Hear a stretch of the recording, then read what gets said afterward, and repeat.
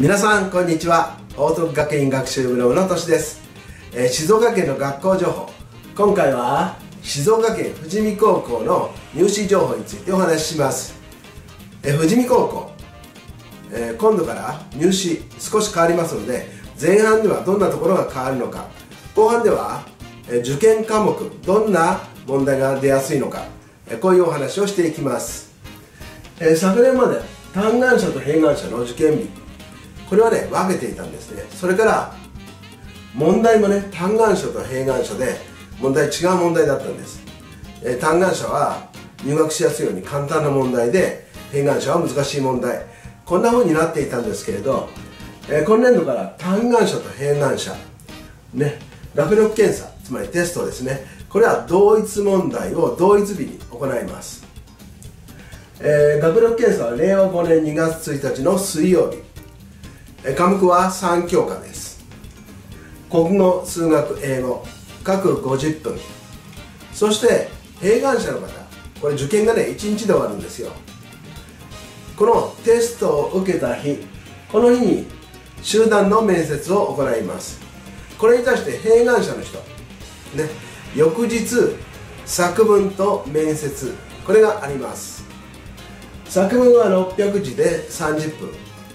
面接は個人面接になります、えー、プライバシーに関するもの。この質問はしないそうです。そして合格発表は令和5年2月10日の金曜日12時、えー、各学校に、え、合格不合格の情報が送られるそうです。では次に各科目の問題についてお話しします。受験科目についてです。受験科目3教科ですね。国語数学英語。国語は現代文これが2問あります、えー、本文中に漢字とか文法問題が入っている。こういう形をとります。そして古典。これは古文の横にすぐ現代語訳がついている。えこういう形になっているので問題は簡単です。えー、現代仮名遣いに直す問題。必ず出るのでこれは押さえておいてください。次は数学です。数学は体毛1は計算問題です、えー、計算問題は標準的な問題ですね。極度に難しい問題とか極度に簡単な問題これはありません。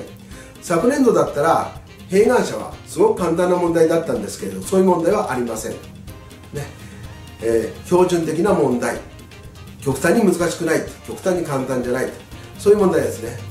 で対物には小問集合になっています、えー、短い文章題こう思ってください。まあ図形だったら角度を求める問題とかね。そういう問題面積を求める問題と。こういうものが入る時もあります。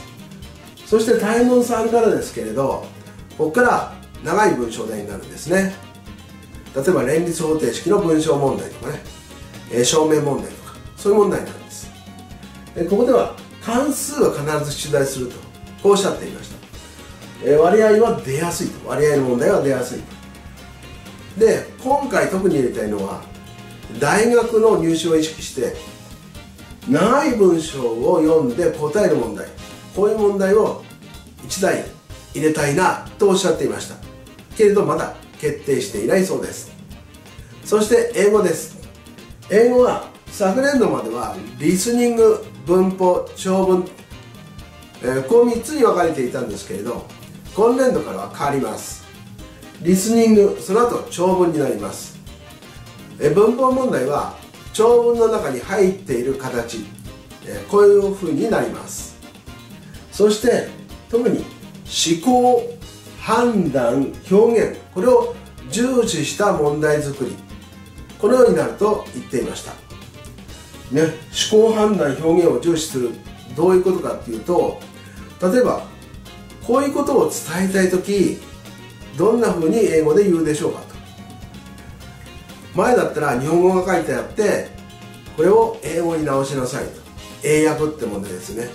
そういう問題じゃなくてこういう場合はどんな表現で相手に伝えますかと。こういう形になるようです。ね、それぞれ国語数学英語、えー、来年度からこのような形式になるということです。今日は静岡県富士見高等学校の入試情報についてお話ししました。今日も最後まで見ていただきどうもありがとうございました。ではまたお会いしましょう。さようなら。